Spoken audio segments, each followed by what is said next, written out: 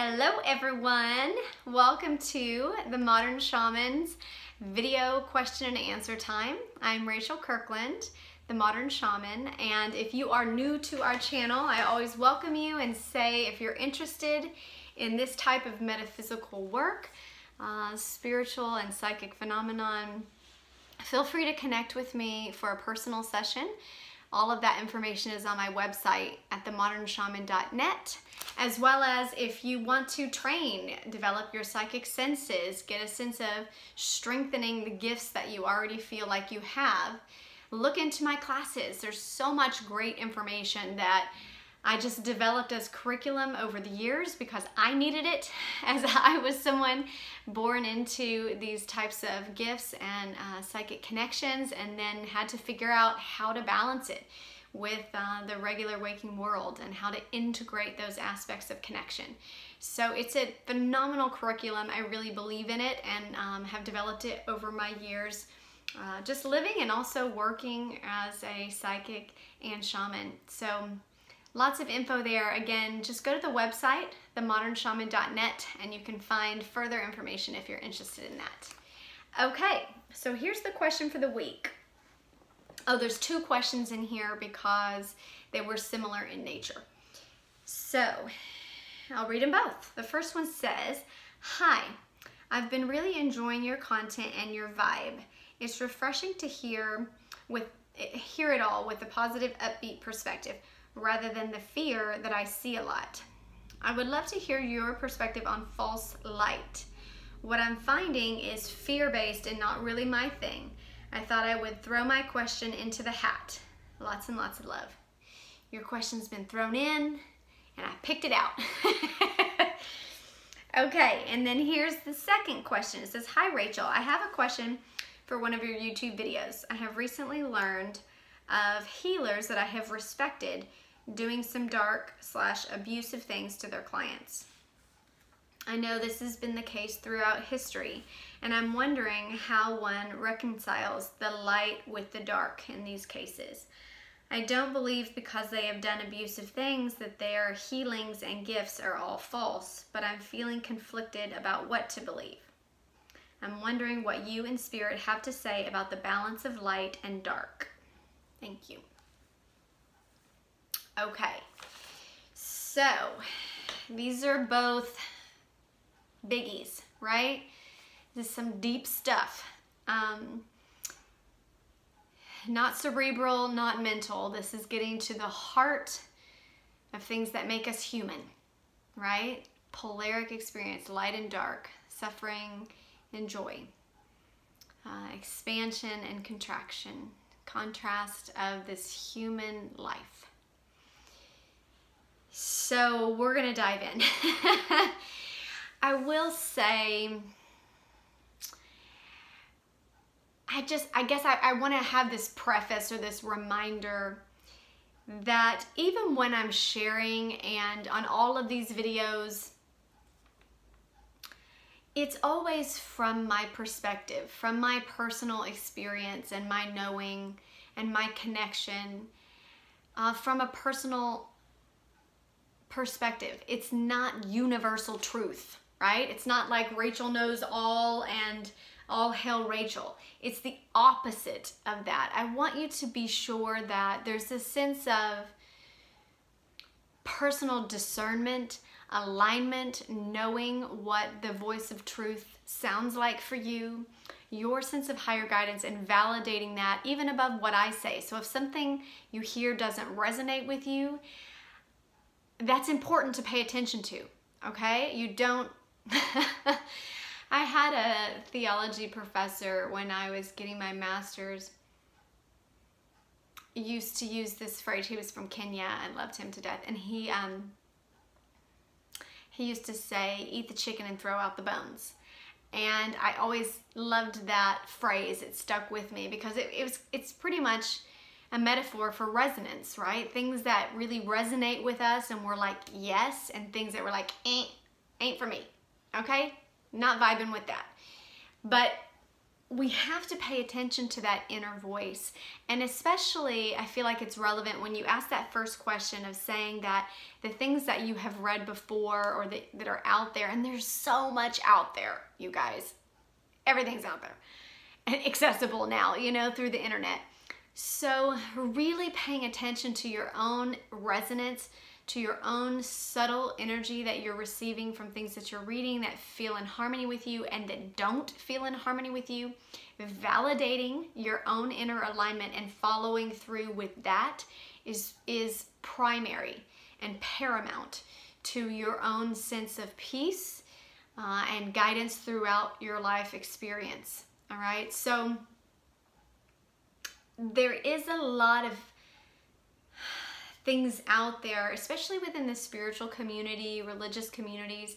I think over the history of humankind, a lot of the basics of the way we were taught was very um, primal in nature, very childish in nature. And so fear tactics, uh, pain tactics, things like this were used to explain things of the light, even the way that some religions would talk about God or talk about the relationship with God was very punishment based, very childish, the way that you would talk to a toddler, right? Or try to keep them from putting their finger in a light socket. It, it, you know, there's pain there, there's pain there, pain there.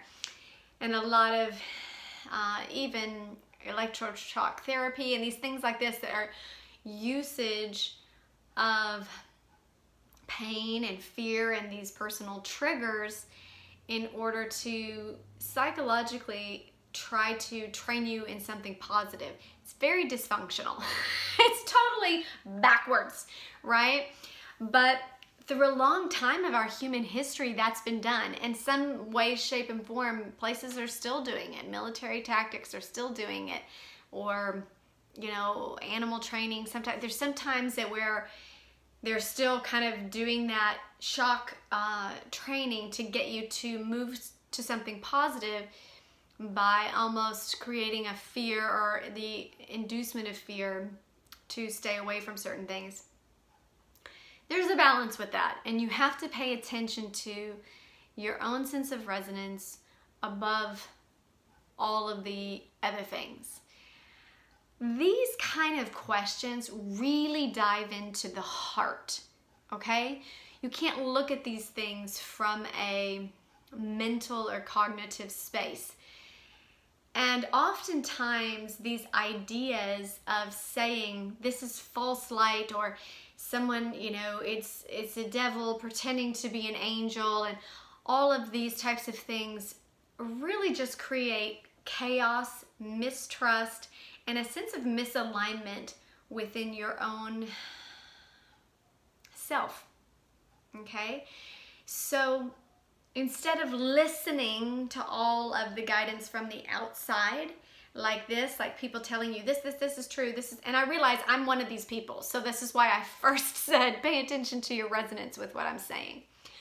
But there's just so much information out there even within, you know, there's like these, oh, spiritual hierarchical face, uh, false matrices of light and false, I mean, you can just look up all sorts of things. It's all out there, all right? And they all get really detailed and you can just be like, oh my gosh, this sense of paranoia and confusion. That to me does not resonate. It never has. In fact, that to me feels like it creates more chaos, separation, and confusion when true knowledge, true wisdom should have a sense of uh, solidity to it. It should feel like it, there's a coming together, there's a oneness, there's a sync, there is a harmony of essence, of light, of knowledge that feels like wisdom, higher knowing. The kind of lower chaotic stuff that's confusing and distracting, it feels like noise and it doesn't give you a sense of peace. This is how, for me, I have a sense of discernment. I notice these things don't make me feel better. In fact, they make me feel more confused, more lost, more like I don't know what's going on and I got to listen to everybody else to figure it out. This is separate energy, again, creating a sense of chaos, paranoia, and external, um, looking to externals to gain a sense of wisdom, when it truly should have that space of discernment that feels very peace giving, very aligning, like something in you just, just with a sense of ease says, Yes, this is true for me. I resonate with this. There's peace in it. Now, I'm not a big fan, y'all know me, I'm not a big fan of labels. And when I hear these, this label of like false light, and if people have brought it up before in sessions and asked about it, I don't really feel like it's it's necessarily false. I just feel like there's a spectrum to light. Okay? Just like our visual light spectrum, right? That has a sense of fading into certain colors and then uh, fading out of other colors. There is a field of energy within the light spectrum that at, at certain areas has way more luminance or a higher frequency and vibration towards luminance. And so it's a purer form of light.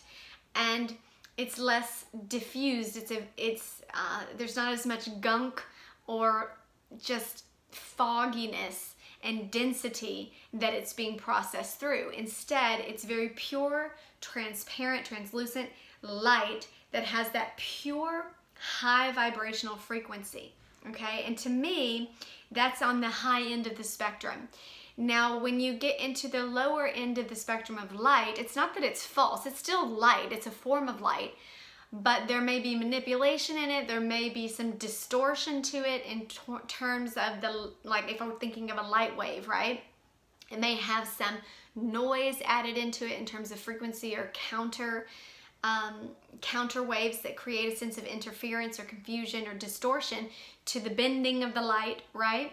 So if we look at it in those terms, it's still light, but it's just distorted or shifted forms of light.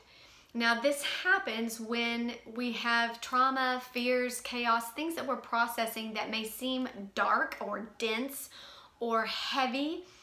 And as our chakras are spinning and creating, say, this auric field or this field of light, our energetic body, sometimes they have to process through this gunk. If you're human and you're still manifesting a form and body, you're processing through some levels of duality just being here. Okay, now this is getting higher and higher in vibrational resonance, but you're still having to process through that on some level. And so when those chakras get kind of gunky and muddy in certain ways, then the light that comes out may process through in a sort of false light. It's not false, it's just a distorted or a mal, mal like it's just a bending of the light or a darker or a muddier diffused sort of light that would have a sort of like fog or bending to it, all right? So it doesn't mean it's not light. It's just not that pure, translucent sense of high frequency, okay? And we all have those areas that we're trying to process and clear out and grow through. It's part of our evolutionary growth as a light being, okay? Okay, let's get on to question two. So that second question it's more like what do we do then as humans that are still living and experiencing others with their own play of this balancing of light and dark within themselves as well as the collective of humanity. And this is, um, like I said, it's a biggie. It gets to the heart. I will say, through my own experience with clients and those that I've worked with that have been what society would consider going through dark events or going through trauma that involves, um, you know, them on the wrong side of the tracks, you know, having worked with all sorts of different people. Um, and seeing all sorts of different things that would be considered difficult for most people to process. I will say that our our earth has more light on it now, despite what we're thinking or we're seeing as on the news, so, so to say. There's more light that's coming in that's bringing up so much of the things that were hidden in the dark before, that were just swept under the rug. So, in a way, if we can remember that these events, when we find out something about someone and or we hear something that someone gets arrested for an event or things like this, it's actually a coming into the light, a bringing into the light. And those events for those individuals are extremely catalytic in the energetic field, meaning they completely shift the energy and trajectory that that person was on. So when they are convicted of something or caught or um, something is brought up into the light where this was a skeleton that was hid in the closet and now the skeleton's out, there is a sense that their life will never be the same and it literally shifts that karmic energy, that dark, dense, directly into the light. So, in a way, it's extremely positive for the shifting of that momentum and track that they were on.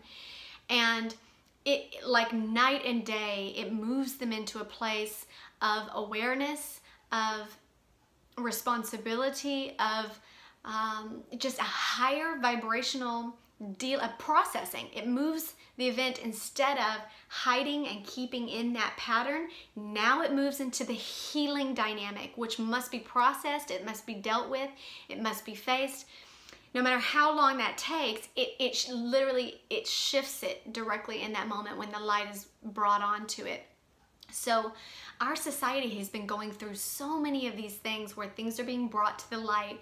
And to many of us as observers, they seem really uh, abrasive, right? Like a baby taking his first breath or when you come out of the door and it's cold out there and you, it, it feels abrasive and cold and brisk in the lungs. It's a shock to the system, okay? But at the same time, for that individual, the shift in energy is completely changed from the track that they were on to begin with. So it's a quick moving, ending, and catalytic event to clear the path that they were on, okay? And they're given, like I said, the momentum directly into healing, processing. It's a totally different modality then that they're moved into in terms of energy, okay? Um, so, in a way, if we can remember that as humanity, that when we get this shock coming in that seems like, oh my gosh, this is so dark and I thought these things were light, it's not that they're not light, there's just a variance a spectrum to that sense of luminance within them. And there may have been areas, just like there are in us, that are pockets of really uh, kind of hardened or cavernous areas or solidified kind of coal that have to be cleaned out. Those moments of cleaning out can feel very abrasive, but they are huge shifts in humankind, in the direction that we were going, in the direction that they were going. So, in a way, it's so good that these things are coming to the light to be brought out and shifted and changed. So, stay in that momentum of knowing that every time something is brought up like this, there is purification, there is healing, there is cleansing for humankind as well as for that individual because they're helping process that also for any vibrational alignments of others that are going through similar experiences as a human. So, in a way, it's incredibly positive and to send them the energy of compassion, of, of moving through the progression of healing. Now, how do I heal with this? How do I heal through shame? How do I heal through um, responsibility and acceptance and heal through these larger energies of love? Love is an absorbent energy, it doesn't separate out and blame. Okay, so we, we pull in, we grow through, we have a sense of responsibility and depth to our growth through those types of experiences. So if you can stay in that space of the heart, not the head, coming to a space of awareness within that spectrum of light and luminance, and just knowing that as these things are brought up, they're also clearing and purifying in a, in a very positive way for all of us. Mm. Love you guys. Blessings.